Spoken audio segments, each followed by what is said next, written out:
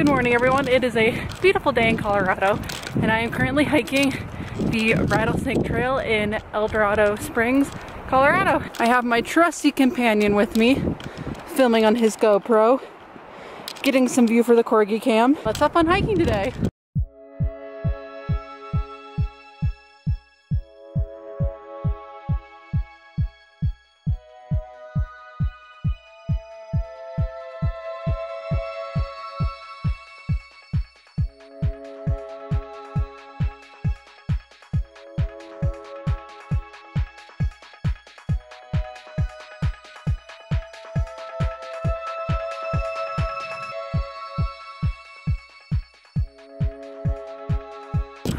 So it turns out it's really hard to go down a mountain in the snow when you have a dog pulling you.